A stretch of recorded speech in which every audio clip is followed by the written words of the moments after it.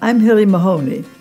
My late husband David and I arrived in Palm Beach 41 years ago, and I've lived here happily ever since. I was born in Hamburg, Germany, and came to the United States at the age of two months. In the summer of 1941, my family and I went on a round the world trip, but were caught in Japan when Hitler marched into Russia, and we could no longer continue. At that point, it was difficult to get passage back to the U.S., and while we were waiting, the Japanese attacked Pearl Harbor. That sealed our fate, which caused us to spend the next six years in Yokohama and Karuizawa, Japan. Three years after the end of the war, we were repatriated to Germany. My father worked tirelessly on getting us back home, which finally happened when the immigration offices opened up in 1950. During the years that followed, I worked at Time Inc., did commercial TV, worked with the Boys Club of New York, was married and raised two sons. 45 years later, my dream of living in Palm Beach came true, and since my boys had grown up, I had the time to get involved in the local community, joining the boards of local charitable organizations.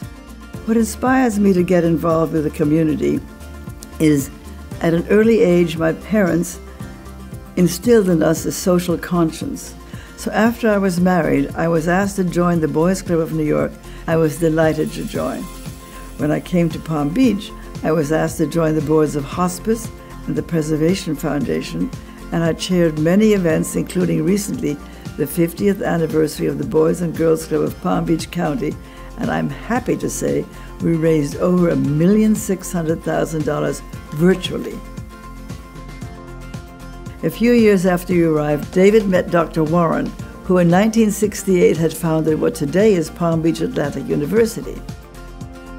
Soon after that, I met Dr. Warren's lovely wife, Bibi, and before long she invited me to join the committee of her Woman of Distinction luncheon, for which she had herself laid the groundwork years earlier.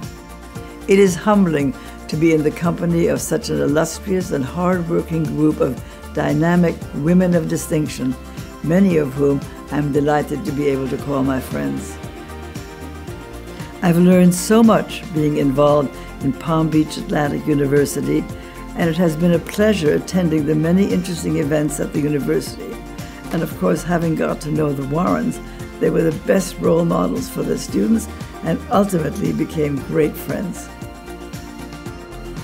I believe everyone should invest in Palm Beach Atlantic University because it is a Christian university which teaches Christian values. That's why it's extremely important right now, as it seems those values are currently under siege. Therefore, we must support our students who are our future leaders.